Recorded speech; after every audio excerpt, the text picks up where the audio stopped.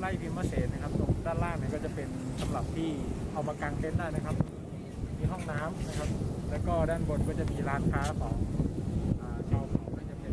ชาวเขาที่เขามาขายพวกงานเย็บปักนะครับ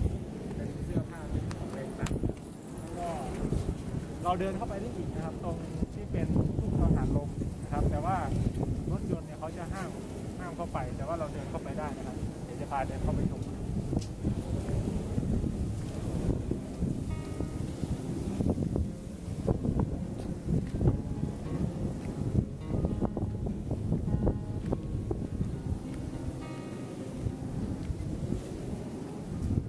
พอขับรถมาเนี่ย ก็รถจะมาถึงตรงนี้ครับเขาให้จอด จอดที่ มันมีที่ให้จอดอยู่นะครับ แต่ตรงนี้เขาไม่รู้ว่าให้กลับกันหรือเปล่า ลองไปติดต่อนะครับ เจ้าหน้าที่ดูว่าเขาให้เข้าไปไหมนะครับ ตอนนี้ก็เดินนะครับจากจากที่จอดรถมานะครับ เราก็เดินเข้ามา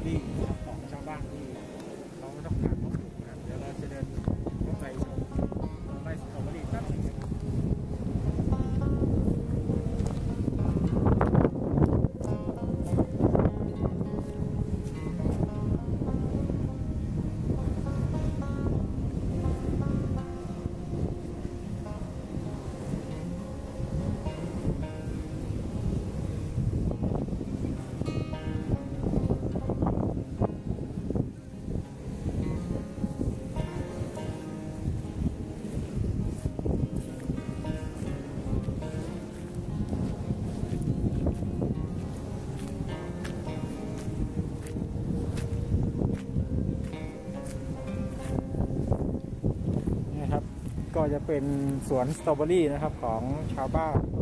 ที่มาปลูกตรงบริเวณทุ่งกังหันลมนะครับ ก็จะมีหลายโคเรือนนะครับที่ทำพื้นที่การเกษตรตรงนี้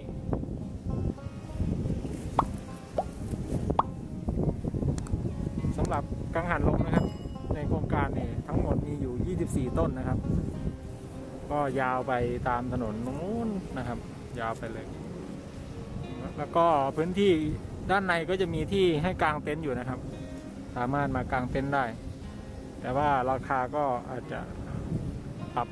ขึ้นเล็กน้อยนะครับ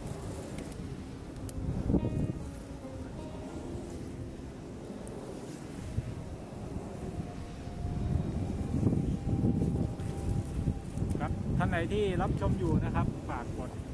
subscribe นะครับ กด กระดิ่ง แล้วก็กดไลค์กดแชร์นะครับ เพื่อเป็นกำลังใจในการจะทำคลิปนะครับ ก็เดี๋ยวมีคลิปดีๆ คลิปต่อไปนะครับ ก็จะนำเสนอให้คุณผู้ชมทุกท่านได้รับชมอีกเช่นเคยนะครับสำหรับวันนี้ขอบคุณทุกการติดตามรับชมครับ แล้วพบกันคลิปต่อๆไปครับ สวัสดีครับ